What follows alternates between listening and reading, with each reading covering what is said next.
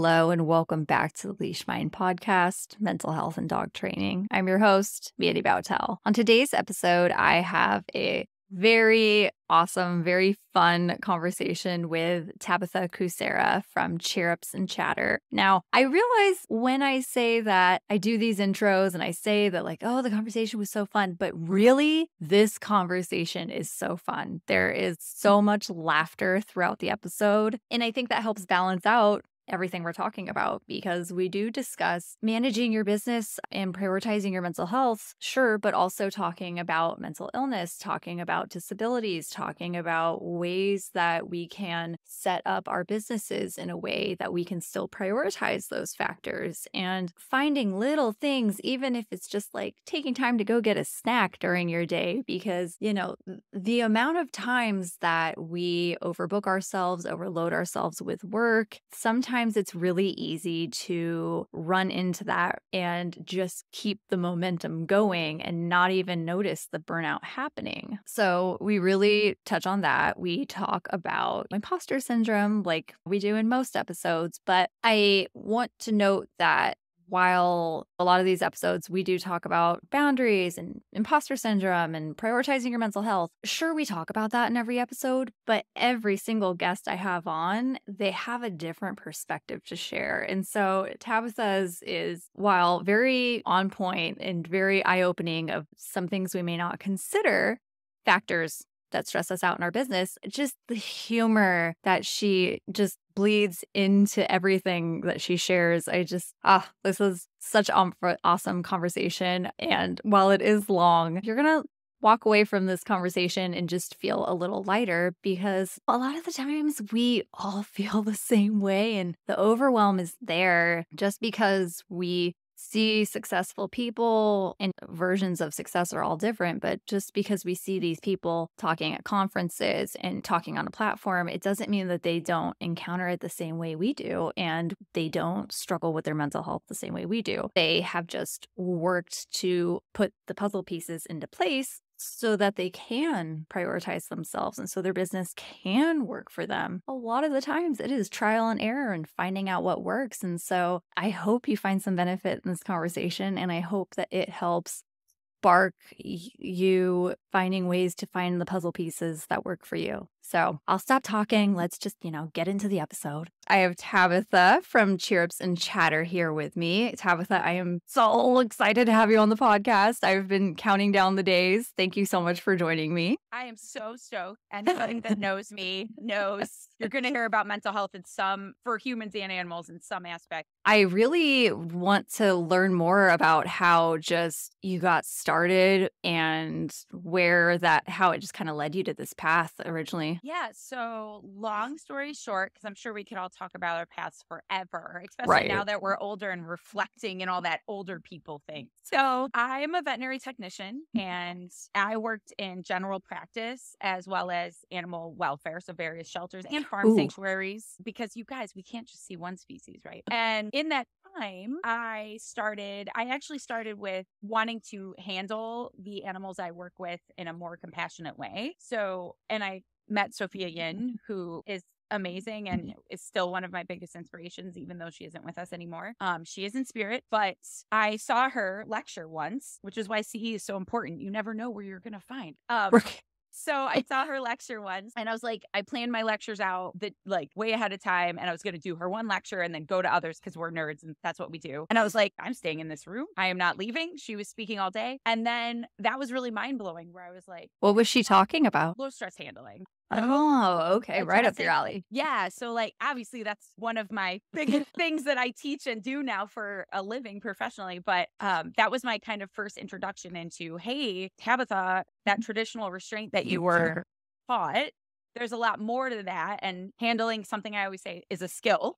And Right. all of animal welfare. So that meant all of it. We don't necessarily treat it as a skill. So that's how I started. Just understanding how can I reduce the stress and fear of the animals I work with from a handling standpoint and every interaction I have with them, which is behavior, of course, but I mm-hmm. wasn't there yet. And then I started, that kind of led me into getting more into the emotional well being of my, before Fear Free was a thing, which I love Fear Free, but addressing the emotional well being of the patients I worked with. So then I started just kind of like doing some behavior lectures, reading some books, and then, because I work with cats and dogs, and I would youth like meet a lot of cats and euthanize them on the same day. Oh, And.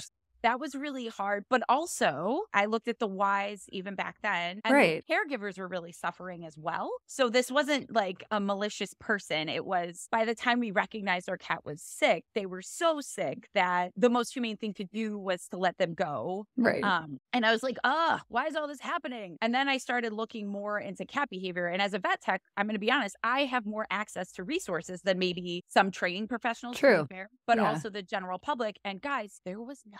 And what year was that? Uh, Like, that was like, oh my God, I feel like a little baby. Was, it's 2020. That was probably like 2013. okay. So, I mean, Not that 10 years. I know- ago. Yeah. So that's a jump, though. there was a few, but it was such basic foundation. Thankfully, Right. I, I had that going on with my veterinary technician stuff. Um, and that was really eye opening to me. I was like, oh my. And then all these like pieces came together in my brain, and I was like, so I'm gonna learn everything about cats. I'm going to be the person. It's on my shoulders. because well kind I mean I think Little, yeah. that way right and because I was like no wonder there's such a lack of understanding about because also as someone that I did low stress fear free handling with cats and dogs and I got a lot of pushback even from my colleagues about cats versus the same thing with the dog both in the same relaxed body language interestingly enough though I would hear more often that cat's going to bite your face, which is not the case. Cats, there's a lot of body language, but also that was everything started to make sense. I was like, we don't get a lot of body language resources for cats. Um, there's very few up to date evidence based resources for behavior in cats. It's the, even the stuff that was fairly better than the other stuff was kind of foggy, uh, I could Mhm. say where I can understand how the general public may read this and not be able to pick out the awesome parts and just kind of critically think and practically apply, understandably. So that's what led me down my path of cats. And then, of course, dogs as well. So then I decided, like, I'm going to get my VTS in behavior, which is Whew. a very long, in depth process. It's veterinary technician specialty. I think there's 29 in the world right now. So Holy cow. now, and that you have to get quite a few hours. So that led me down to going, getting my KPA CTP, Oh, okay. getting my CCBC through IAB. So everything kind of like, Meshed and rolled Meshed. together to, to Um, go to like the end goal of what you wanted. yeah. And now I'm here.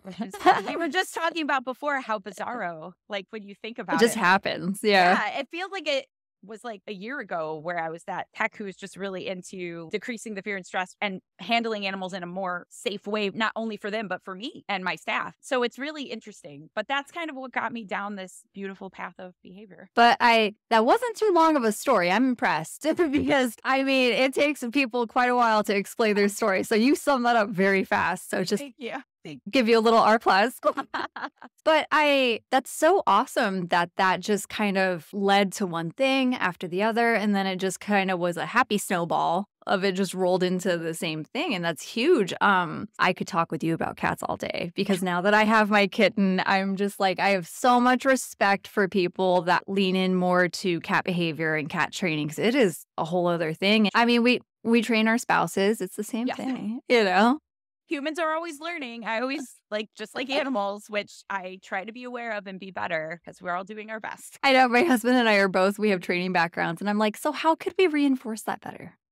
Is there a way we could set up my antecedents better, honey? Like my partner, bless him, he always says, You would never say that to a client. No. I'm like, I love you so much. Thank you for checking me. You are correct. But So- you get the unfiltered version. So right. And but to be fair, that's something I'm I'm so thankful for my partner. And he's a big reason how I can do all the things I do and how I've gotten to where I've gotten when I wanted to quit the VTS process, for example. And he is something something I've been trying to be mm. better about the last few years is I give myself, I love giving myself so much to everyone else. Same. But then my husband gets the zero Tabitha. And that's not cool. So it's something I'm trying to be more aware of. Like, yes, I just spoke at six conferences and I loved it, but I need home and I need to be there for him and listen to him Be And- the partner. Yeah. because he's amazing and it's it's a team effort so I, i'm trying to i sound like i'm making myself sound like a horrible wife. I love her, love her. I'm just trying to be better. We all do it where we give ourselves to everyone else and then the people that like our best friends and our family and our partners we barely have anything left and that's something that i have been trying to check the last few years I kind of want to talk about that a little bit more because I feel like, you know, a lot of the times in the industry, in, in some of us, you know, do have training businesses with our spouses, our partners. And then, you know, like I did. And, and but then a lot of the times we forget that, like, oh, that's still my partner. And like, we still need to invest in that and separate work from life balance. And I think a lot of times it just, and we get so burnt out with wanting to get ahead. Um, your stories, like you've been sharing like small businesses and working so hard. And it's just, people don't realize that like there's so much work that goes into it but then sometimes it kind of just takes over our life and, and it's who we become and it's like whoa i lost myself i lost who i was to my partner and then our mental health depletes but people sometimes we don't notice that because we get so caught up in next best thing let's get ahead accomplish this goal that we forget to really celebrate and still sit in those moments does that make sense No, definitely. I think that's something again, I'm I'm a people pleaser, which I love about myself, but I got to start to set some boundaries. Like I like even the necessarily like this is a label, right? Like the negative personality traits. Like some people would be like, "Oh, you're a people pleaser. That's horrible." I love that I'm that way, but I can't overextend myself like I have been forever. And also, I need to make sure that, like you said, I have energy for my partner and my friend, like my very close friends. And that can be really challenging. And sometimes you're not even aware of it. At this point in my career, I've gotten down that, that working, working, working, going, going, going. Oh. That's kind of my baseline, which is not healthy, but that's my baseline. And my partner has, we've kind of learned a better way to communicate. And he essentially checks me. And I think for us, that works. And by check me, he might say, Hey, so you've been home for a day since this conference and you, it seems like he's so, you're still buzzing around and you Yeah. haven't like and he's like, It doesn't seem like you're listening to me when I'm talking to you. So he's not like, right it, it's more of a like hey let's check in here reassess and then I'm like, "Oh, You were correct. damn it Uh, you know, and then with my other friends, like I honestly set out like a mass text during the last before my VTS board exams where I sent a mass text out to like my 10 closest friends and said, I am sorry that I have not been available and have maybe been distant. This is what's going on, blah, blah, blah. So just kind of like I would have not done that three years ago. Right. Yeah. And that really shows just the, well, I think, you know, you just said three years ago. That was 2020. That's not that long. Uh, I know. I feel like 2020 really changed. I mean, it changed so many things. Like it could be pages long of the things that it's set to change. But it's just, I feel like a lot of us, our mental health was right here and we had no other choice than to look at it. And I feel like for a lot of us, up until 2020, we were just cranking it out. It was hardcore hustle culture. For me, I know I was like that. I ran myself into the ground. And then I would be like, why am I snapping at everyone? Why am I fighting with my partner? Why am I losing friends? Why am I running on fumes? And it's just that get ahead hustle culture. And then 2020, and it was like, oh, we need to reevaluate things. And so I'm seeing a lot of people shifting how they're approaching their business, myself included, in just prioritizing our mental health,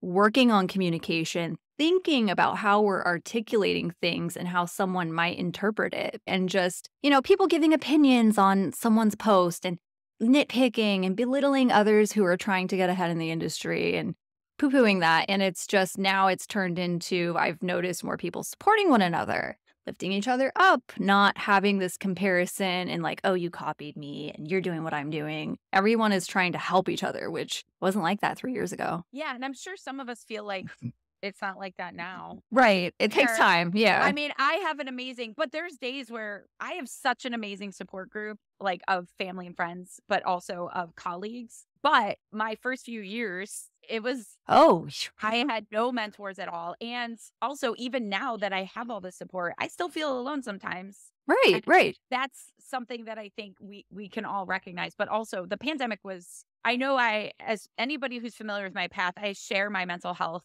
journey very publicly for multiple reasons. One being suicide is very common among my colleagues uh, in veterinary medicine, but also animal welfare. And then, so mental health, again, not everyone is in a place where they feel comfortable talking about their mental Right. health. than I do. And I used to be ashamed about it. And then I started embracing it. And I started that legit journey. Like I was kind of on a baby journey before the pandemic. Same. With the pandemic, I took it to another level and it hasn't in the big picture it's kind of like when a client's like in the big picture i'm like what's a year of BMOD for a whole year a whole life of your cat and dog getting along? Right? Like it's nothing. So it's interesting to think about how far i still get weirded out when I see a post from two years ago and how I was really struggling with this thing, but I was trying. And now I'm in this place where I'm, I have that healthy coping mechanism that I was working towards. And essentially, I had a breakdown like everyone else in 2020. Yes. All trigger stacked. And I mean, there was just so much, many things. So like you kind of said, I had to really reflect. So I strangely approached myself like I was a patient of mine, a cat or dog. Um, right. So I wrote down my triggers that I could identify. And then that. I wrote my enrichment because I create enrichment plans for all my pa- or cats and dogs. I say patients, it's a vet med thing. It just right. And I was like, oh shit. So like I have like no fucking enrichment. Cool. Cool. I wonder. I wonder and a lot of these triggers are things I have some control over. So I was like, okay, shape it, start small.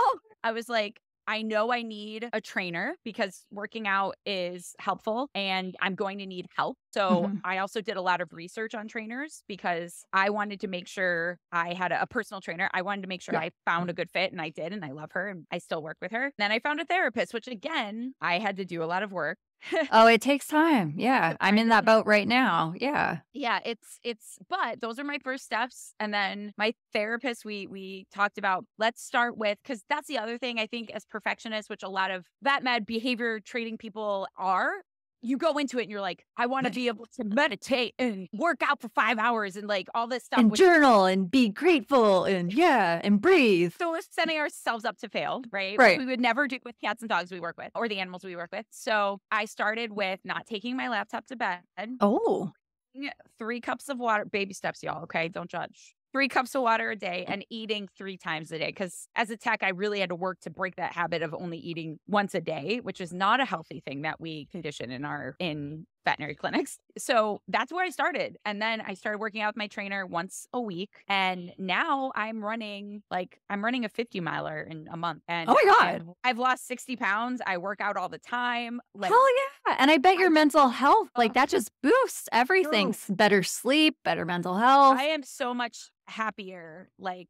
and then I also got an appropriate diagnosis from a mental health standpoint so important. Yes. with, and a lot of that, I, I always like, I joke, but I say it very seriously. I'm so thankful for my behavior background because Yeah. I want to lean into that. oh, I've came so far because I love my therapist, for example, love her, still love her. And I was diagnosed with depression, which is a very general vague. I'm not saying it's vague, but let's, it's kind of a fall off. we all get that answer Right, one way or yeah. another. Right. And I was prescribed an SSRI, which better living through chemistry. I'm all along with Yeah. behavior modification and environmental enrichment, which includes Management. Right, Yeah. I had no enrichment. So like those even if I was on meds, it would be very challenging for them to work appropriately. But those meds did bring my brain chemistry to a point where mm-hmm. I could more easily do those small shaping steps to get started. Just like animal, I mean, it's all the same. Yeah. And then a few, like 6 months, 7 I can't remember, 7 or 8 months into the SSRI, I started noticing cuz that's another thing about therapy, right? I'm very aware of my emotions now.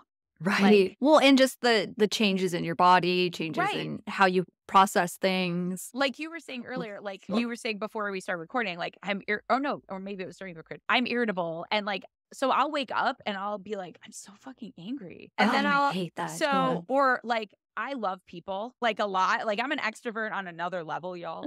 uh, so I'll be like running in the park, and I'm like, I I could feel like shrugging happening when I see people. So I'd like call my husband. I'm like, something's wrong, and then I'm like, I might be too tired. I might be hypoglycemic. Like I used to never do any of that, and being aware. It, oh my gosh, it's been like a a huge game changer. Um, see, I jump around. This is what we do. Um, oh, oh my God. No, I have something to go off of that. So this is perfect. Oh, yeah. So I started recognizing that um, it was really challenging for me. To be fair, I strongly dislike emails. All of your suggestions and advice would be appreciated. Please bring it to me. I fucking hate emails. And I've talked to my therapist. I'm like, I need a positive CR. Please help me write a plan because I can't. I just strongly dislike them. But um, I would sit down to do an email And to be fair, I'm very like on the go. So I'll do five emails Right. and then get up and do something. And that's just me. But I couldn't even like, I was like, dude, this is really hard to write one. And I was like, this is not normal. So I started keeping data. Uh, yeah, Uh, no, tracking it. It like Yeah. you would with a client. So I started tracking it um legit. And then because my, again, my therapist is great. Just like veterinarians are great, behavior consultants are great, but they need the caregiver's data to be able to help. So then my therapist, because she knows my background, so she gives me uh, a lot of textbooks to read because she knows I don't want, she just knows. So I read it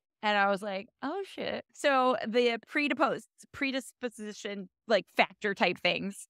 My dad had schizophrenia. So the the likelihood that I could be bipolar from a genetic standpoint was very high. Like all of these things that just how how common depression is accidentally misdiagnosed or Oh my god. diagnosis depression, all of this. And I was just like, duh, I have bipolar. Don't self diagnose, but I just was, it was very duh, duh. Right. Like, well, when you have that realization of, okay, I'm not just struggling, you Right. know, out in the ocean without a life preserver, there's actual shit going on and I need to figure it out and set my life up better. Cause I feel like a lot of the times we, and I was talking about this in another episode, but we, a lot of the times we don't realize that we have something going on underlying and we just keep struggling trying to figure it out and make it work. and that's a really good point. So, something that I think we've all felt, but there were times where I would go, go, go, which is my baseline again. And then I would just be dead. And by dead, I mean, guys, like extroverted as hell me would not look at her phone. Yep. I wouldn't get out of bed. And I used to just say, this is exhaustion, which to Yeah. be fair is very likely based on my workload, which I've gotten better. But um, but also, I mean, this has been going on for years, like for years Right. and years. It's a cycle. And I got a testing for immune disorders. And and once I got my diagnosis, I was like, oh, that was the down part of the bipolar. I was I felt I know that sounds, but I was like, oh but you don't know in the moment. yeah, I was trying to like, I was like, because also I think as humans, we just naturally adapt, which is kind of cool. So I was like, this is just exhaustion. I'm fine. I can't function. for it." but then if my friend was like, Tabitha, you can't function for four days and your baseline is like high energy, this is. And now I'm like, like you said, it kind of just hits me. And it's, it's, so then we changed my medication to a mood stabilizer, which is a lot more appropriate for my diagnosis Right. and I haven't had a suicidal like down since like I'm not gonna cry, but it's just sick. Like it's so awesome that like I have not had a suicidal like Tabitha can't function thing for four days since starting. And obviously, I also have all these healthy coping mechanisms. Right. It's a whole, you know, I mean, library I've of help. done a lot of stuff, but right. I'll, I don't think without my mm. behavior background. Which is also why I try to share these stories because not everyone is lucky enough to have our behavior background.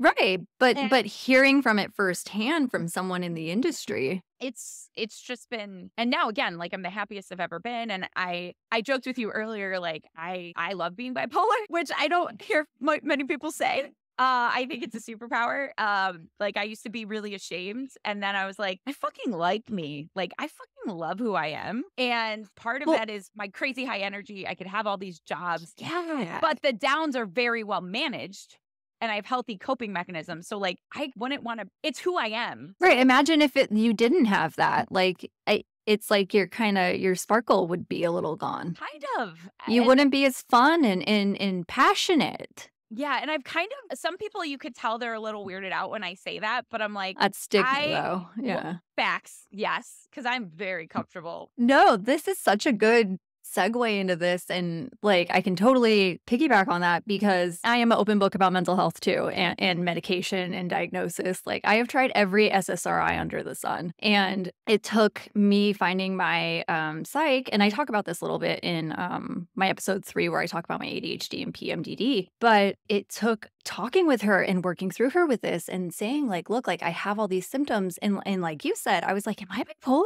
Because but my symptoms it, it tracked with my cycle and i finally started like tracking like okay and and i literally noticed this again this week i was like okay it's my cycle is about you know for 10, 12 days away I feel a shift. And even my husband, we have enough communication now. that He's like, You're angry. Like, why are you so like snappy? And I'm like, Oh, the flip switched. Okay. Well, time to get back on the Prozac this week. And that's how it would be, you know? And I finally have a system with her of, okay, I, I start, you know, my fluoxetine a week before my cycle starts. Cycle starts, we're good. But it would, it helps because where my cycle the week before, I would have those really bad down days, not get out of bed for like three or four days, don't want to look at my phone. I want to delete Instagram, yep. fuck woof culture don't want to do it anymore. And I never thought that was a real thing. I did not think PMDD was real because the last eight years I was told by doctors that, you know, I'm just depressed. I'm just highly anxious. Yeah. Um, it's not my cycle. Maybe I just need to get on birth control. And I'm like, oh, you just want to do all this to me again.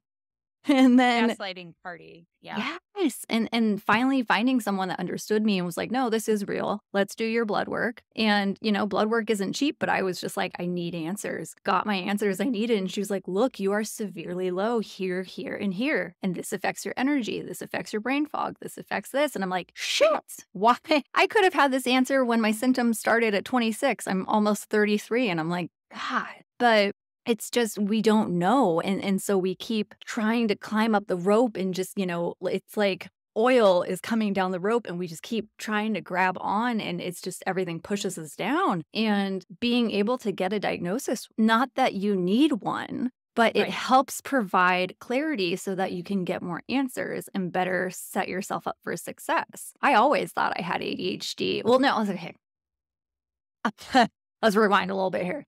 My my mom always told me growing up, she's like, I think, I mean, I have it. Grandma had it. Like, I Have it. And she was just like, you know, until it affects you, don't worry about it. And I was just like, yeah, mom, whatever. Yeah. And so then I hit 30 and I'm like, maybe she was right. And then, you know, I noticed it more. And and now that I got my diagnosis, I noticed it more in her. And I noticed her traits. And it's helped our communication because I'm able to help her. And I'm like, whoa, whoa, whoa. Like, and so it's interesting to see that standpoint, but also to realize where like I was overwhelmed with work a lot of the time. And it was because I wasn't setting myself up the right way. I was trying to, and I, I do say this in another episode with someone else, that it's just I was trying to force myself to be neurotypical and, and fill these boxes like everyone else does. And my brain just didn't work that way. And I didn't realize that. And I think that's where I've made my brain and who I am work for me. Right. And that has been, I'm still not perfect. That's not a thing. No one's perfect. The amount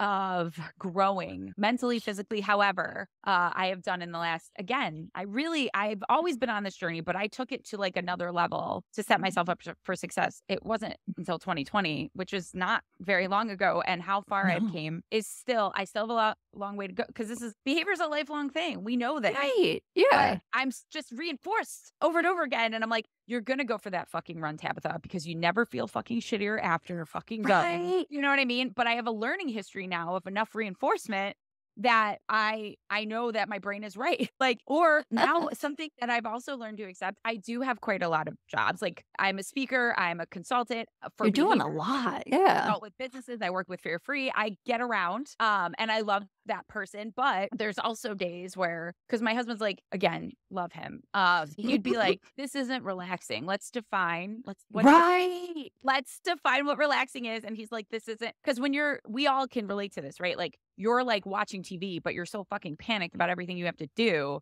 that you're more stressed than you would be if you were doing said things. So I have learned one thing where I'm like, you were fucking on, like you recorded, because I also have a podcast. I was like, right. you recorded. So you've recorded three podcasts. You saw two brand new consults. You did a webinar. I'd be exhausted. today, you might not do shit in the morning and you're going to schedule for that. And yeah, you're going to drink coffee and watch UK TV because it's my favorite thing. Very comedy is my favorite and just watch YouTube UK stuff. And that's and I used to shame myself for that. And now I'm like, yeah, girl, that's what you have to like you guys, I have my little pet talks inside myself. I'm sure we all do. Oh yes, the same. No, oh my God. That's that's so important though. And and learning to offset when you have heavy days. We don't think to do that. That is something I started implementing this year when I do the podcast recording episodes, I've talked about this in my stories plenty, but I need like a good hour plus after of an episode because I'm just so energized from talking about things. It feeds my mm-hmm. soul, but I'm you need like a so it's super funny. So when I met my trainer, I told her because she's an ultra runner, I was like, I fuck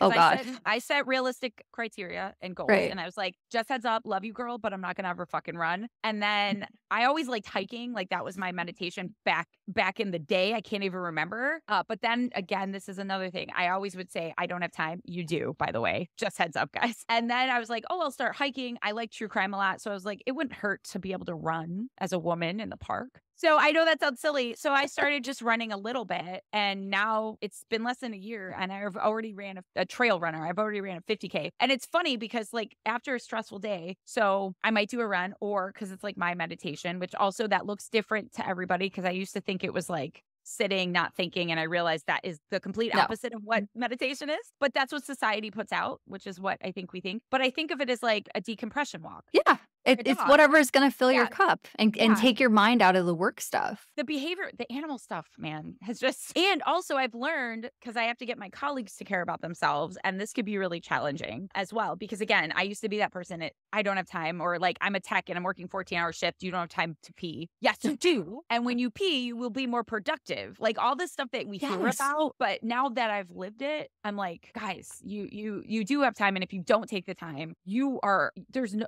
there's no way. Like there's no way I there's I would have probably quit my job already. Well, I know I work for myself, but still I would have fired myself. I know there's no way because I would have just had uh, how much more productive I am because I had those healthy outlets for me. And then also, I'm an extroverted person. I'll be honest, guys, this is embarrassing, but I was never comfortable with being by myself. Uh, Oh, I- no, it takes I that's own- learned skill. Yeah, I didn't want to be with my own brain. And now I'm like, yes, I want to run 25 miles by myself. And it's, I love and that. now I would even go see a movie.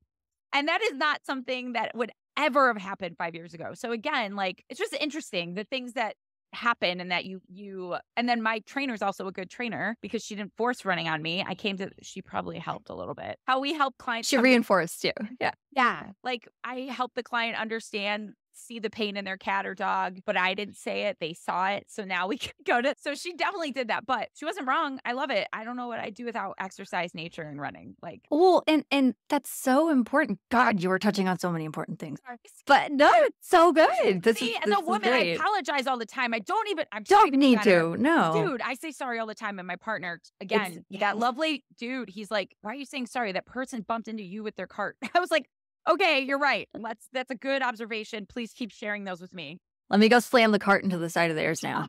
But no, no, just being able to to step away from things and even you just saying like no you can go pee and you'll be more productive. Like no but really that is for real because with like i noticed when before i was diagnosed with my adhd i would hyper focus so long i'm not even joking when i say that i would sit for five to six hours i would hold it because it would just be like okay i need to get the I'm next thing. one one more thing one more thing i have this i gotta focus on this and then like the second i'd walk away i'd forget it so then i'm just like i have to do it. But then my husband would come in he's like have you eaten lunch? Like did you have you when have you gotten up last? And i'm like oh this isn't good. This isn't healthy. And so now i have this habit of and you know i, I talk about my whiteboard plenty and having my list of things to check off every day so i'm not overwhelmed but i have it so okay i sent that email. I'm gonna get up and go walk around Yep. for 10 minutes okay, I handled these social media posts. I'm going to take 20 minutes. Like just having those little breaks helps. And like sometimes my husband and I have to go into each other's office and be like, rub each other's shoulder and be like, honey, when's the last time, you know, you took a second? And sometimes I'll walk in and he'll be like, this working. And I'm like, your shoulders are in your ears. Like, let's take a break and like walk away for a second. But it is, it's, it's, we deserve breaks. You know, we tell our clients all the time, especially with like, you know, separation anxiety, you know, go take a break, go walk around with your dog. Just it,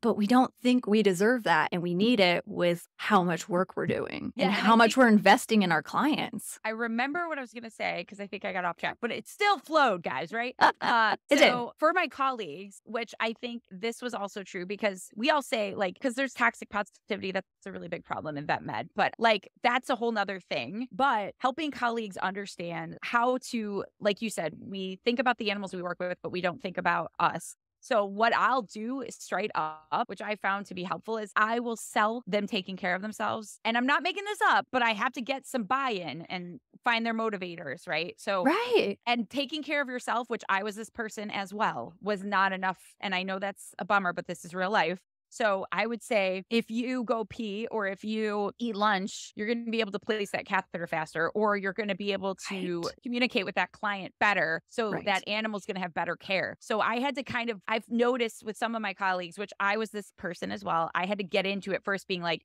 if you take care of yourself, you actually take better care of the animals you work with. And then once they got into it a little bit, then they got, they're like, oh, that got them starting. Because if you just said, Tabitha, you should take care of yourself, I'm going to tell you to whatever words. Yeah. Or people used to always tell me, and they meant well. So this is obviously, this is a bit of a trigger for me because people mean well when they say this to me work less. As if it's this like magical, uh, and they're to be fair, they're probably not wrong a little bit, but also that's such a matter of fact, like blanket statement, It's Right. like- Like, what does that actually mean? Because that can mean so many things. and what does that look like for said per?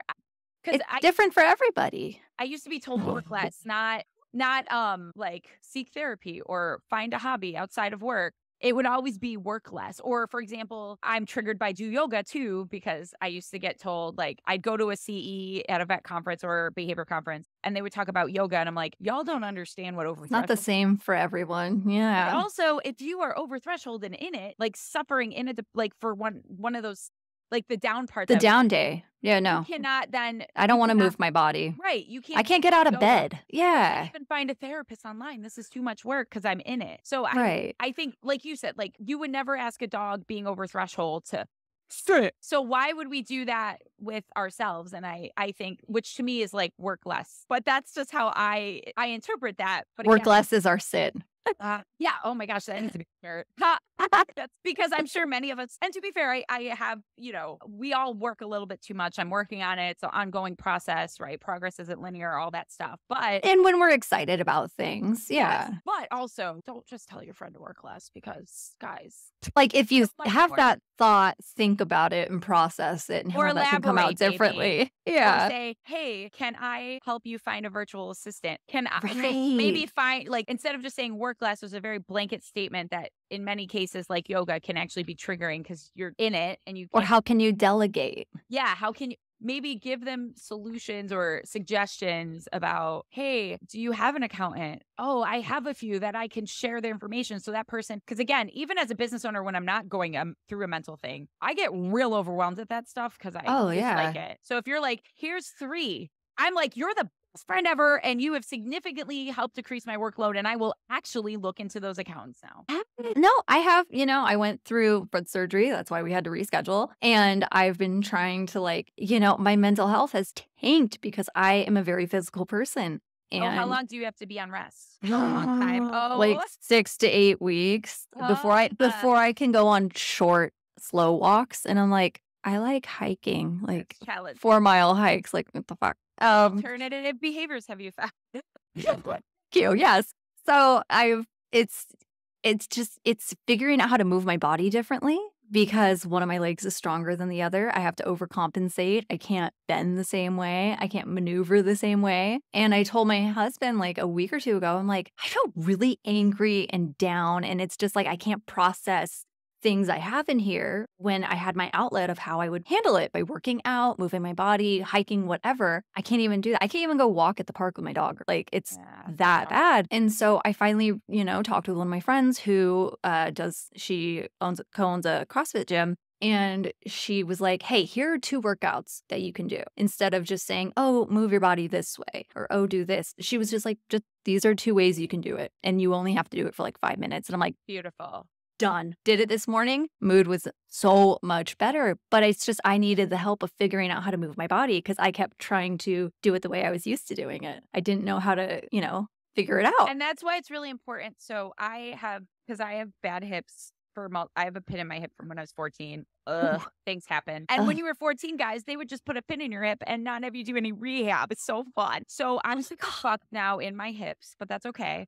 Um, because it's my body. I'm learning to accept it. So I'm an ultra runner. So I've oh course my God. ankle hip stuff. I have a lot of management things. But mm. after a 50k, I had a ankle thing and I couldn't run and I did not do well, guys. No, it's when you're used to it. I was not. I was essentially throwing temper tantrums uh, in my home, but I did again, which is why it's important to have a community. I'm working on building ultra runner friends, so I could like they could be like, "You're right, Tabitha, that does suck," but I'm hearing it from someone who knows, like, Right. been through it. And then I started, guys. I still I did it angrily, but I did it. Uh, I started kayaking, which I've never done because I was like, I can go outside. My ankle is in place. It doesn't need to move. Uh, and then I also bought a bike because my therapist and my trainer and everyone was like, "Gosh, so love, this is going to happen because of your. It's just going to happen sometimes. Probably good to have some other uh, Alternative behaviors. right. And Right. in the in the winter, because I am from Ohio, I get seasonal depression, and Same. my partner's always like, like let's play video games, and that's a really good, healthy like. So just it's important. I also it's great to have an outlet, but when you only have one and that gets taken away, I did not handle it well. Which I like now that I think about it, I'm like that was a really hard time. But again, reflecting, I'm like I learned new things, and Right. I'm gonna get more and more as I go. You're going to add more to your toolkit. Yeah, exactly. Right. More healthy coping mechanisms and because your body may not be able to do one said thing forever and that's okay. Right. And and I think just being able to provide ourselves with these outlets and more Yeah. enrichment, it, So it, it just. It gives us different ways to, you know, some days you're feeling ragey, you don't want to move your body. You don't want to bend. Like there are days when I would do my yoga videos and I'm like, I can't hear her talk right now. She's talking too much. And I'd be like, that's fuck it. I'm gonna go run. Like, or, you know, I am like, I don't want to move my body. I feel very bogged down this morning. I'm gonna go be in my garden for an hour if I can. Or, you know, I mean, we have a fixer upper. So I'm like, what can I do? There's so many things. And so, but that's like the first two years of living in our house. It was like, all right, what's the project this weekend? And it would get me out of my head. But I think it's just a matter of figuring out what fills our cup and finding, leaning into those things when we need them and knowing that it's okay if, you know, we need a slower morning or we need to cut out a little early from work to take a little time for ourselves. If we figure it out into our schedule, we can make it happen. and to learn from past stuff. So for example, Yes. I used to like I would speak at a conference and again, I'm extra on. I'm a bit extra. Uh You have so- to be on. Yeah. Yeah, so I'm on, on, on, on. Like not just while I'm speaking, because I'm like, I want to mentor and help and support people because I didn't have that, and that's something that's really important to me. And I would come home and have clients that day. What the fuck Oh. was I thinking? Ah, So I had to do that for you guys. I hate to admit it, but I had to have that ha- happen repeatedly before I was like, hey, so a travel day is really stressful, actually, and you're really tired. And this is again where my lovely partner just pops in. And now I don't schedule appointments for the day, sometimes even the day after, because I don't get until you eight. got that. You need that recovery time. Yeah, I need that. But it took me so learning from because again, that might look different for somebody else, but being like, okay, or I had this really heavy client and I because we generally have an idea of what we're gonna see. So I'm only gonna schedule, I'm gonna move around my other appointment for today because this is initial consult, but we're talking about behavior euthanasia and like pretty significant heavy stuff. And um I may need like some mental health or A buffer. Yeah, a buffer or period. I do trauma informed consulting for animal welfare and vet clinics. And I remember I was at this amazing shelter in Florida and I was doing like overall two days with their whole staff. And the staff is amazing. Like their CSRs, ACOs, uh, kennel staff, behavior staff. I mean, it's amazing. And I did fear free handling workshops and then enrichment and body language and all this stuff. Whew, whew. And the second handling workshop, because it's all about conversation and hands on stuff. And we ended up going on about somehow a conversation started about because I mentioned mental health a lot and I mentioned how decreasing fear and stress for the animals I work with decreases my fear and stress. And I'm very open. Totally. And like then it became this beautiful, but also very in depth conversation with these 10 staff members about how they cry every day and how they are really struggling and suffering and it and the behavior person who brought me out she's like oh my gosh i'm so sorry i'm like no they needed No, they needed let that release. out. And seriously, I get emotional thinking about it because it was just such a beautiful, like, it was just beautiful. And have, I think just having them be listened to. And then also that helped me go to management and say, hey, we need an action plan to address the, you know, FAS and your staff. That's You huge, know, though. But I went to hike on the beach after that because it was beautiful and I wouldn't want it any other way. But I needed to kind of like Decompress. That is big. Yeah. shake it off. I shake off like a dog. Like I had to like shake it off. Like and just being again five years ago, I might have not done that. And I maybe then there's been times where my partner picks me up from the airport and I just stop. But it's because obviously there's some trigger, there's some other things going on there. You're Um, processing it too. yeah. Sometimes So- that you got to cry it out. Oh, I love I love a good cry, guys. Cry it out. I used to Feel like, it. I'd cry and now I'm like, you know what? I I cry. I had a colleague, I had two colleagues take their own lives in the last month and I went for a run and real talk, I fucking sobbed like a baby for the whole run and I was like, I fucking needed that. Like that was yes, it that comes up because you need it. Yeah. So embrace your emotions. Don't be ashamed. And thankfully, I'm not that uglier of a crier, but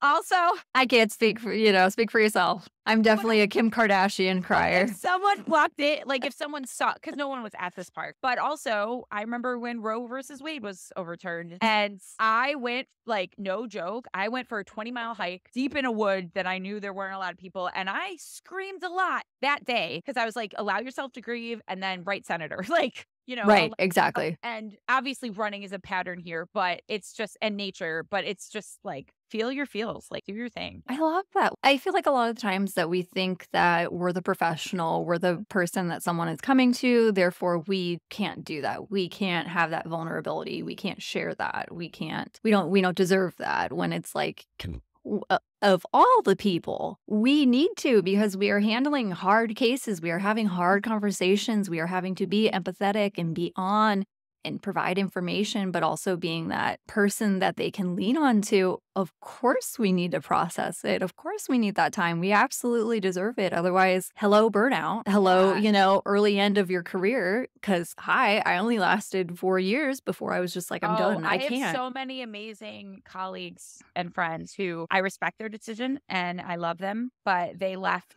especially in vet med, they just completely left the field, and it's It's understandable, heartbreaking. I, but again, I support and respect their decision, but it's it's heartbreaking because it's just like, or even cat behavior people. I know a few that they were doing it for like a year, like barely at all. Mm. I mean, I mean, from my perspective, it's like you're just getting started. Yeah. There's a lot of other but a lot of people start like they start as a veterinary technician or a behavior consultant but they're they've already been kind of doing things within that realm but maybe with a little less you know knowledge so they weren't which was probably even more challenging for them to be thrown into situations because they had less resources Right. And then going into it full steam, right so by the time they go into it they're burnt see- out. I see that all the and that's probably what happened in those contexts. So I think it's but also I respect those decisions like 100%. Right. You do you, but also how can I help my amazing badass colleagues thrive? And also clients love when you share your obviously you read the you read the Right. Yeah. body language, but I always like I might be the first person to tell them that I'm observing signs of stress uh in their cat or dog or signs of pain in their cat or dog. And that can be a heavy thing because caregivers are such so amazing that they're like they in, in How did I miss that?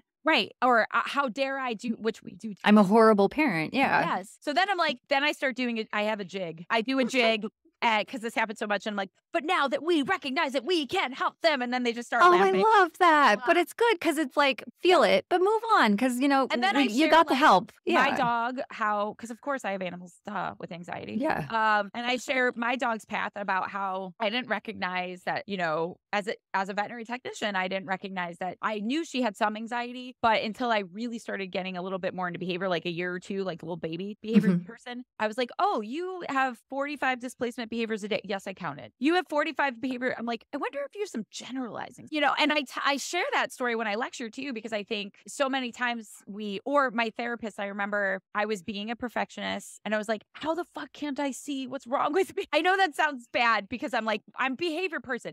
And then he's like, put your hand in front of your face. And I was like, okay. And he's like, what do you see? I'm like, he's like, my, I'm My like, hand. And he's like, yeah, that's it. Cause you're in it and you can't see everything else. And I was like, that was like, again, Oh again, my that was God, ago, yes. And I still think about it when like all the time because I think we can also be I mean with my own animals as far as behavior and that stuff I am a fucking mess and I'm like how, how I'm not being good enough like I do that all the time and I think of the hand thing or for ourselves when we don't recognize our own it's so hard to recognize your own stress and which is why I know we've Always, talked a lot yeah. about our partners and colleagues and friends supporting you but there are a lot of simple little things that you can do to help support each other Mm-hmm. or recognize those things Exactly. Well, and I love that because it's like sometimes it's just like, or, you know, we're on our phone and it's just we're so magnified and zoomed Oh. in. And for those that are not watching, I'm, you know, doing it on my iPad imaginarily. But it that is, it's we're so zoomed into things that we're not, we don't know what's going on all over here because we're just looking It's at the funny. one thing. One thing I've recognized. So if I'm looking on social and I start being like, why am I not doing that? I'm like, okay, that's data. Bitch, you tired because you happy.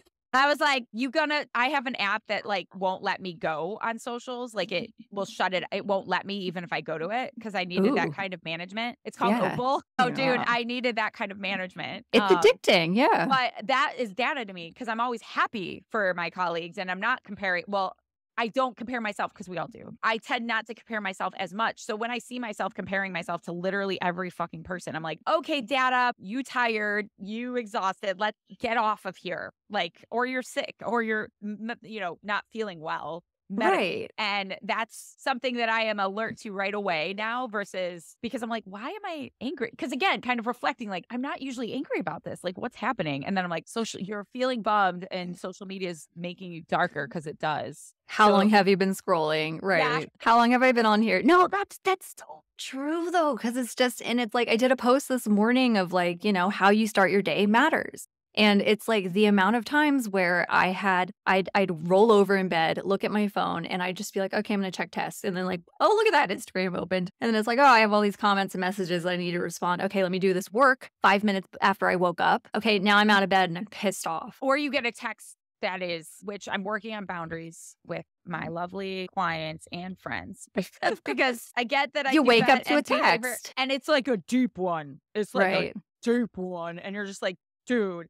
And I, Not I'm- right now. I'm still not, it's in my brain, it's on my list to not look at my phone when I first wake up. I'm still not there. It's hard. I'm It's working- impulse. But it's something I'm like, go downstairs, you know, go outside, drink your coffee, feed your cat, give meds, all that. Then look, it's only 15 minutes, but it is a process. I am, I'm working on it because Oh no, it's we're training ourselves and, and setting ourselves up. It, I mean, I I was recovering from surgery, so it was like, what am I gonna do? I got a Oh, week off work. Like I'm stuck in bed all day. I'm on my phone all day. Like let's just fuck it up. Let's Yeah. light this fire. Let's see what happens. And stuff. But it's just I would be scrolling and then I'm like, oh, my whole mood just went right. Like and you can it feel it. And you like, feel it. yeah. And you're just like, where'd that come from? Like, what the hell? And then you it's like icky. Like You she's shaking. do. You guys can't see it, but I'm shaking off. Like, yeah, like it, it actually, because I'm like, ew, why am I like spiteful? Like, what the fuck? right. like why am i feel and then instead of leaning into it and not knowing like we can reflect and i could be like oh this is because i slept like Yeah. shit because i also have a watch that like monitors my runs like all these fancy things but also if i feel grumpy i'll look at the last seven nights i'm like oh shit girl you got two hours of rem sleep in the last five days maybe Right. that's why that data has been i'm such a data nerd but it's I love it though. It's, it's helpful. so helpful to or like I don't eat processed foods anymore, barely at all. I still eat sugar. I'm not mental, It- okay, everyone. But like I'm vegan and I used to eat a lot of Gardein and because I was like, I don't have time to eat. or I don't have time to cook. Quick meals. But now management, antecedent Mhm. arrangement, I Mhm. ordered meals because me and my partner just suck at meal planning. We've tried, teach their own. yeah, Um, whatever helps you. that have the ingredients and i'm like okay tabitha those chicken tenders vegan chicken tenders going to take 20 minutes is going to make take 20 minutes to make this meal that won't make you feel like shit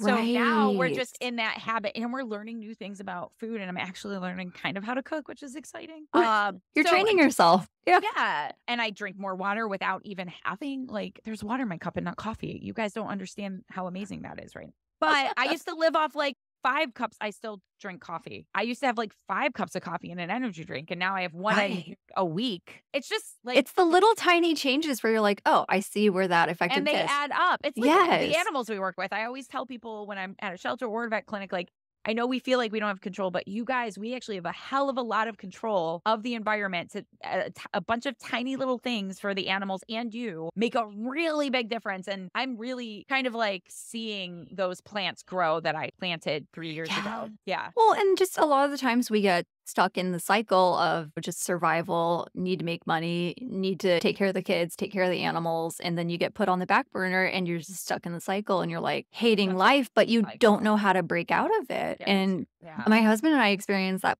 plenty over the years. And it's just, it's like, I'm usually the one to be like, whoa, okay, we're like, we're on autopilot and this isn't helpful. And so he works a lot more than I do. So I'll take it on me and be like, all right, you need breakfast. And I know him, he will go grab a waffle and that'll be his food. And I'm like, bro, like, you got to feed your brain. Like, and so I'll be like, all right, I'm going to make this and it'll take me, you know, 15, 20 minutes, but it'll give him enough energy and food. And, and you know, he, he gets his vegetables, thank God. Sometimes you need a little help and that's Yeah. okay. That's okay. And it's, I've, I've talked about this plenty of whenever I have my Sunday. So my Mondays are my Sundays. And that's when I try to like prep things and, and kind of get ahead of the week and set myself up because I know that's the only day I'm going to do it. That's the only day I have time.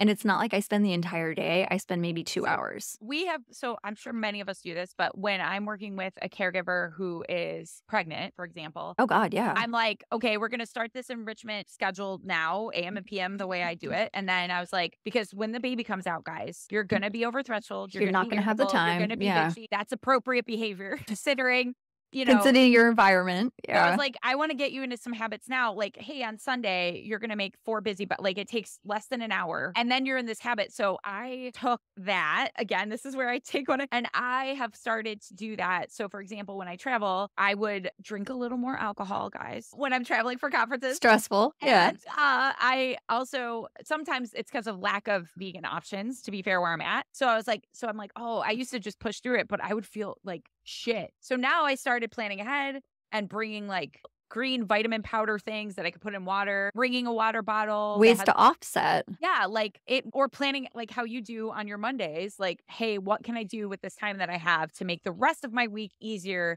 And once it's a habit, it's fairly easy. It's just And I mean- that habit is a bit of a bummer, but Plenty of us prep enrichment for our animals. Why are we not prepping it for ourselves? facts. And you can do them at the same time. Get an instant pot. It does not take that long to pour stuff in there, turn it on, and go. Like I do it every week and it's just it's habit now. And it's like when I don't do that, my week is shit. And And I I, have like And that, like, yeah. yeah, like I, I don't have time. I, I used to say that. That's not even in my vocabulary now because I'm getting personally. I needed to get rid of I love that 'cause I used it so much. It's an easy excuse to reach for. Push myself into fucking like I. It, it's It's autopilot. You're shoving yourself into autopilot. Yeah. how far I've gotten considering how much I allowed that to happen to me. Like the fact that I Survival mode. been hospitalized or which there's nothing wrong with that, but I'm surprised because I'm Right, like I same. was pushing myself. It's disgust. Now that I think about it, I'm like I would like don't shake your friends, but I would be like, friend, what are you doing, Kev? Like, what are you doing? So it's just, but again, reflection, and you when you're in it, it's hard to know and all that lovely. Well, and, and I think that's a good point of just, you know, it's like we, if we saw a friend going through this, we would snap them out of it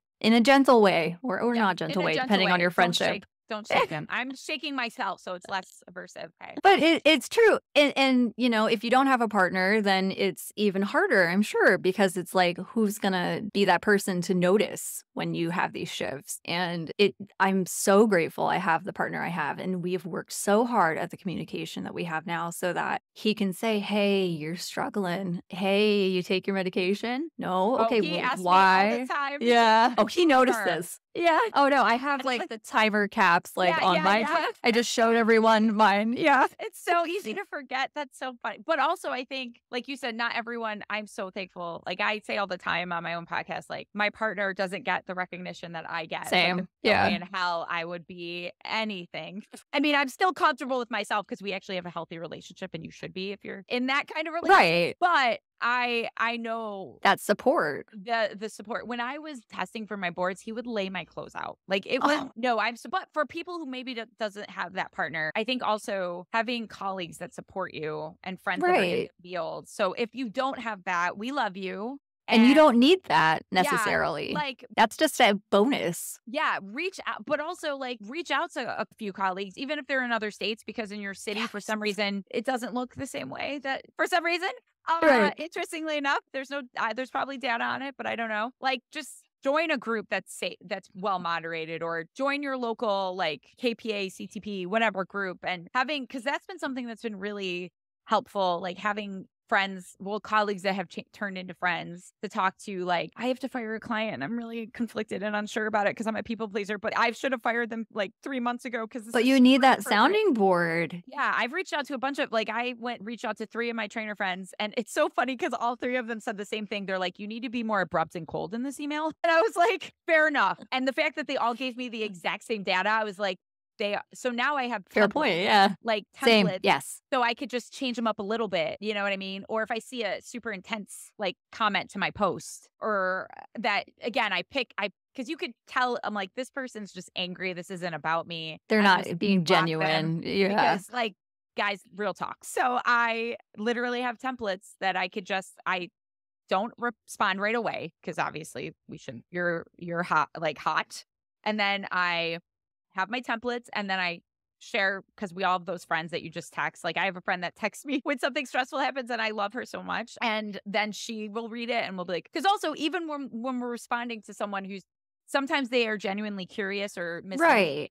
Right. But sometimes they're really angry. I still want to approach it I'm very aware of what I put out in the world. Like, kind of like you were mentioning earlier, even with my posts, I am so extra sensitive to what words I use because I've right. seen the way that words have not even from like a labeling human standpoint, from like no. a describing just like a infographic about right. whatever they can lean too much in one word or whatever. And how many how people misinterpret this thing that I understand how other people would post that and you're like there's no way any how did you take that from that? But thankfully when you post things for a long time and you've been in the field for longer, you can learn and be like I'm going to like I started narrating some of my handling videos because I'm like this is Sometimes just, it helps to have the yeah. tone. Yeah. Yeah, contact more context, more tone. How can I make more people understand this and provide more nuance? Yes, exactly. And don't get me wrong, it's frustrating sometimes because that's a lot more work. And I do work for myself and I would love to have a bunch of employees. I have a virtual assistant who's amazing, but that's about it. Um, well, I need to get more. I'm aware because I do need to baby steps stuff. though. It's baby steps, but that's also really scary. Like, right? That's very overwhelming and scary to me with how many other gigs I have. It's just, but it's good to like. I saw the question that you because she has these awesome questions she sent the time because she's so prepared. Oh, thank you. And she was talking about eh, there's a question about delegating, and I was like, mental note, like data. I need to be better about that. After oh, I'm terrible about it. No, I'm horrible about it. Like I, I have like an iron grip, and I don't want to let anyone help me. Like I think it's so hard to get out of that. Like I can do it. I can do it. I got it. I got this. Especially when you work for your own business, because it's one right. thing to work with like in a place. That's a right. little it still can be challenging, but it's a little easier. But then like it's I'm, hard to give your plate to someone yeah. and be like, You're not gonna drop it? You're not gonna fuck it up the way. Exactly. Yeah. I trust so many amazing people, but also I've worked really fucking hard to right. build what I have and to be the genuine person I am out there with information. And you don't want so, it to shift. Yeah. Or... So I but also like my virtual assistant is amazing and I love her so much. And she handles all my every every what is it called? When someone reaches out on your website. Intake. Uh, yeah. Yeah. Inquiry. So she, inquiry, beautiful word. She so she and some of it is just we have a template with my costs and all that stuff and my wait list and it's fairly simple for her. But how life change? I'm like, how did I not do this my first three years of owning my business? Like it's I was like, it's too much money. I'm poor. But then I was like, actually, it pays for itself. And, and then you're able not... to do what you're good at. Guys, I didn't get TSA until recently because I thought it was for rich people because I grew up in East Cleveland and I didn't go on my first plane until I was like 24. So I created this narrative that TSA was a rich people thing for celebrities. Right. I know this sounds silly. This is the narrative I created. I have that I... same narrative in my head like seventy five dollars for four years, and I I travel. I didn't know that. Dude, oh my god! It is. I still, guys. I've had five trips with TSA, and every time I text my husband, I'm like, I cannot believe this. Like I'm still right. in in awe of like how much easier I'm going to the airport thirty minutes before, and with how much I'm traveling, it has been life changing. And I'm like, damn your narratives, Tabitha, get out of your narratives. Well, and just it's you know, we can piggyback on that with operating your business and not feeling like you deserve the help or yeah. or you deserve to hire people. You're not established enough, therefore. Oh yeah. But there are so many ways where we can set ourselves up from the beginning if we're just getting started or if we're rebranding whatever and realizing like, "Oh, okay, no, I this is good because then I'm going to be able to focus on what I'm good at." You can't wear all the hats and I say this as I wear five hats, but you can't wear all the hats and expect to get anywhere. You know how hard it has been for me to like even just have, you know, Josh and I share an admin and just asking her to like send an email. I'm like, I could do this. But Josh is like, but you don't have to. I'm like, oh, I don't have to. You're right. Okay, here, can It'll do this? feel a little Yeah. bit better every because you also ask about like what's your one piece of advice that you would five years ago, and mine is you can't fucking do everything and you can't make everyone happy. Oh my God, you can't make everyone happy. And I could go on that. To be for- fair, I made yeah. quite a few people happy. With I'm actually like I was joking, uh, like I was talking to because I recently spoke at the IAABC conference, and I was like joking with colleagues, friends, and I was like, to be fair, I get I don't get a lot of like negative stuff. Considering, but to be fair, that might just be the way I take in negative stuff is different than maybe five years ago. But also, I'm kind of at this point in my career where I'm like reflecting, and I really, because I have been doing everything for quite a while, and it's not Right. sustainable. So I have to really like, I'm literally in the process right now of like sitting back, writing things down, figuring out like, Tabitha, you can't work for all these organizations, plus do this, plus do this, plus do this. You have been, and that's amazing, but not sustainable. No. So that can also be really because I'm in that process and it's kind of scary because, you know, right. you can't And do it well. and you want to have all the connections and all the relationships Yeah. and, and, and help all these people i this is my first year that i was i've been turning down conferences and i'm like i'm doing thank you That's patting amazing. myself on the back. no. Right Yeah. Yeah. because it's just i'm finally at a point now where it's like i don't necessarily need that exposure which is i will toot my own damn horn because i deserve it i've worked hard but I'm that, unsure about saying that. what Yeah, we're unsure of saying about saying like when we say, for example, like you you just did it because I do it too.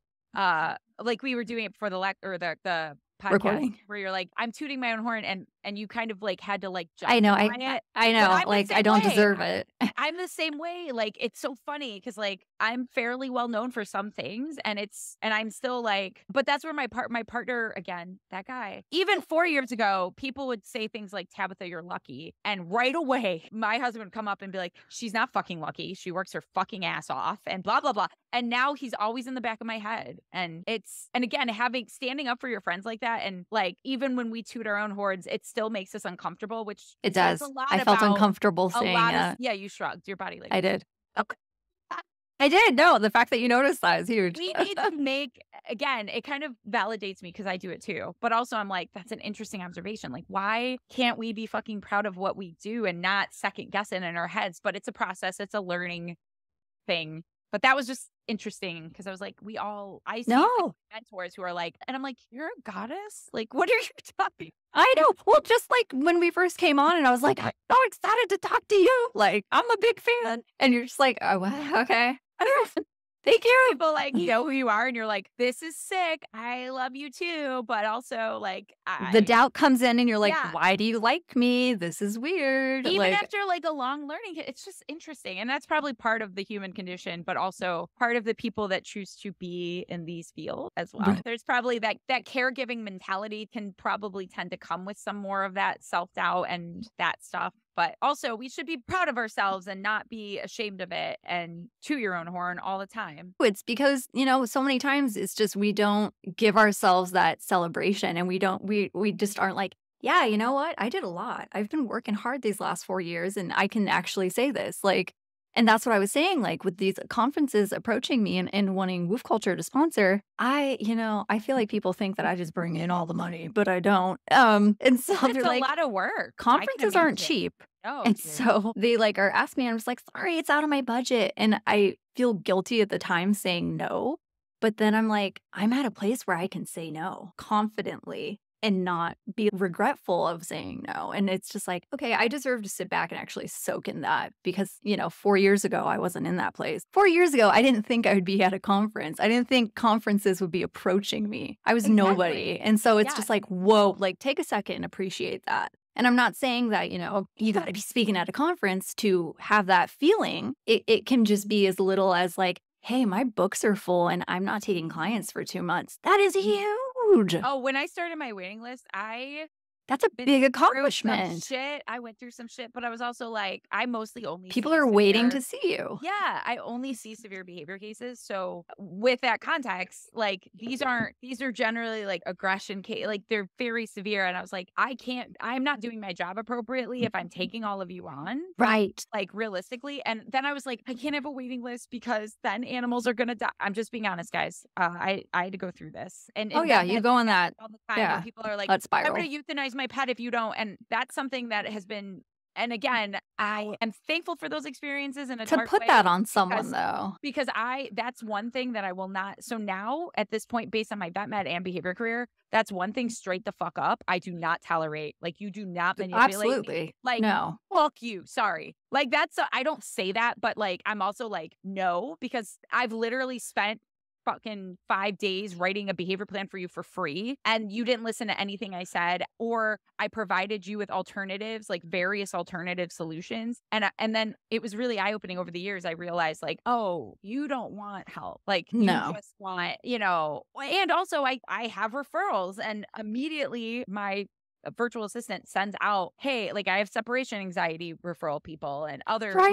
Like, so it's not even because guys, there's more than enough behavior for to go around. I'm not just leaving them hanging. Like, and honestly, eight to ten weeks is really, I mean, considering I'm pretty proud of that, considering I work for myself. That's not that long of a waiting list, real, real talk. But again, this is where I'm like justifying still in my head, like, right, blah, blah, blah, blah. It's so challenging. But I it was super relieving and I'm like doing my job so much more effectively now. Yes.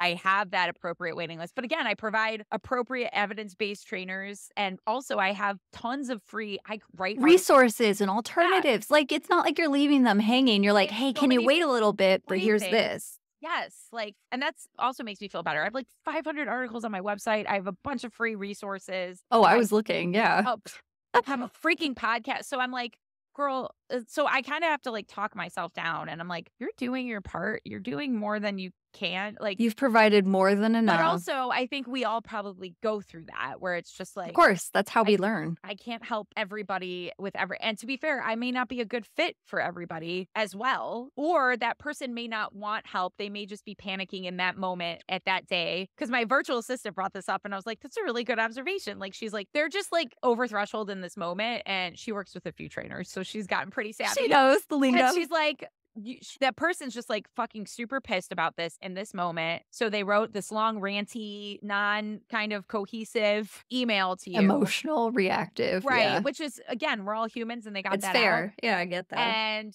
she's like, so I'm going to schedule, send them scheduling information, but they most likely just needed to vent. And. I was like, beautiful. Hell yeah. yeah. Like, but that's not a good observation from her part because I don't think I would have ever. Obviously, we know that by the time people reach us, they probably talked to so many people, and unfortunately, they're at a certain point. Yeah, they're right, frustrated. Which, which is why we are empathetic and understanding that, like, you don't want to actually euthanize your pet. You're just no one has listened to you, and you're in a really bad place. Versus my first year as a behavior consultant, that was really hard to hear with more than 75% of my voicemails, you mm, know? Right. But and, I'm and in a place to not internalize that. Right. I know now that, especially with cats, but dogs too, there's very few resources like evidence based, you know, right. animal welfare positive behavior consultants and trainers. Finding that information is really challenging. Again, as a vet tech, it was hard for me. So I'm like, whoa, general public like this must be almost impossible for you. And, you know, we tend not to be as loud, which I always joke. I was I talked to Michael Shikashio at the conference and I was like, we need to be fucking louder. I'm pretty good about being loud. I'm just bubbly as hell too. And I was like, being loud, bubbly, and kind, I'm gonna get the message across. Like, you know, so so I always joke like we just need to be louder. But in a when you hear louder, that doesn't necessarily mean like abrupt and aversive louder. Right. It's it's it's uh, you know, welcoming and, yeah, and louder soft. because yeah. it, it's it works. I mean, it, I mean, the amount of people that have reached out to me since starting this podcast and they're like, oh my God, I took my email off of my phone. I turned my social media notifications on. I bought a whiteboard and I'm just like, yes. yes. We like those are so many other. big things. Oh, yes. yes, that's huge. It's so big. And it's just like, wow, if, you know, maybe if they wouldn't have heard this podcast, they wouldn't have done that. And they would have kept in that cycle. And it's like, even if it's three people, I'm happy. It's huge. And and there is a ripple effect happening. And I think the more we talk about it, the more that we share our own diagnosis, share our own struggles, and, and know that there are ways that people have set themselves up they may not be the same, but there are solutions, and it's just finding which one works. And that is how we approach behavior and training. No training is the same. No training protocol is going to be the same. It's always going to be different for the individual. So why can't we apply that to ourselves? Beautiful. it's true. Oh, and it's just, it's funny because we don't see that until it's like someone really cracks open the walnut and they're like, oh, yeah, Thank you. Oh, I also so on my path, Like I had a close friend who left vet med a year before that due to severe mental stuff. And I will never forget what she said to me because it was really eye opening and I share it with a lot of my friends and colleagues. But I said, she said, girl, you aren't like on the ledge of compassion fatigue and burnout. She's like, you're swimming in that shit. And I was just like, that was a really good, again, everyone has different ways to define things. But for me, But we need those analogies. that really like hit home. Like where again, I had burnout and compassion fatigue along with lots of other Undiagnosed. stuff, yeah. undiagnosed stuff. Like because also I think sometimes burnout and compassion fatigue are kind of words that are thrown out. Like this is why mental health is, and I'm like usually it's mental health issues on top of like burnout Right. and compassion fatigue. It's not that burnout and compassion fatigue aren't bad on their own right, but usually but they go hand in hand usually. yeah. There's a lot, just like most dogs with thunderstorm anxiety have noise phobia. Like, you know,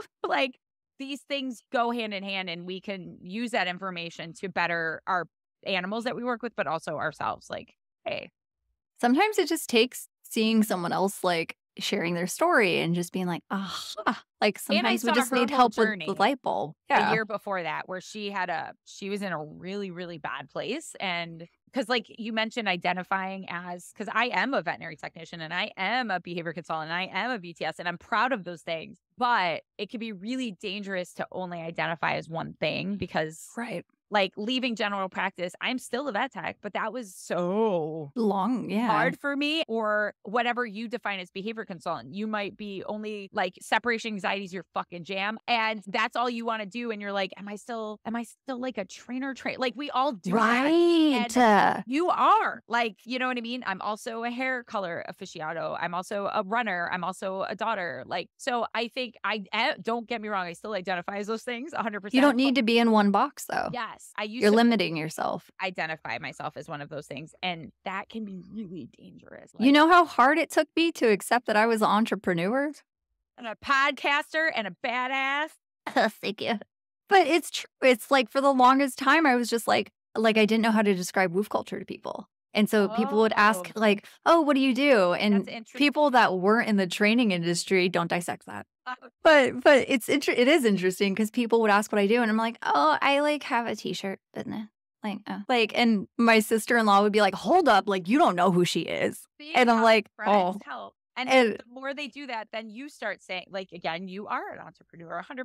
yeah. It just took me four years to realize that. I'm like, am I though? But then you know, people will come up and be like, oh, do you you know still do training? And it's like with my own animals, my husband, sure. Mm. Are you still a trainer? Yes. I have that knowledge. I still apply it Yeah. in different ways. But it's the same thing of like, you know, do I still do hair? Well, I cut my husband's hair. Oh, is that what you did before? Yeah, I oh, did Oh, hair for like fun. six to eight years before. Oh, up. See, and again, like those skills don't go away necessarily. Like I was like, No. I'm not drawing blood every day anymore. I'm going to suck at it. And my partner's like, Tabitha, that's not how skills work. Like he just, but again, you create all these like, or I'm not seeing as many of this specific type of case, like, because I see tons of But there's- aggression and I'm kind of over it. Uh, Like, but you're like putting yourself in these boxes. But how do we even define a behavior consultant or a trainer? Right. It looks different for everybody. Well, and mm. there's this is, you know, we're going off on tangent, but that's I- fine. But we have we develop different skills from whatever, you know, past lives, past jobs we've had. And so it's like for the longest time, I'm like, I was a stupid, superficial hairstylist. Like, all, like I didn't do anything besides screw up my feet and my shoulders. And then I'm like, Oh, that's actually something I learned in my career because I didn't know how to get people to talk. I was so quiet. I never talked. And then I got into hair and I'm like, I have to talk. They're in my chair. I got to get people to This is talk. gonna Like, get weird if we this is going to get sit un- Yeah. right. We both sit here mute and uncomfortable. And so I had to develop that skill. And when I had that skill, that helped with training. I knew how to get people to talk. I knew how to get people to open up and make them feel comfortable. And I'm like, oh, this is a skill. Like, I didn't, you know, a lot of people don't have this. My husband and I are very opposite in that he is very analytical and to the point, whereas, like, I open up, like, let's have a conversation. that's and so that's how we work together so well. And people would see us in consults together because we do them together and they'd be like, Are you guys married? Because they couldn't tell because we would be so professional and so different from each other. So it's just, it's interesting how that can have that ripple effect. I know I went on a tangent.